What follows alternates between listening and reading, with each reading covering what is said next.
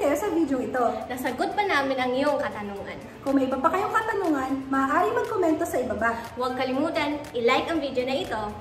Maraming salamat sa panonood. Sa ulitin!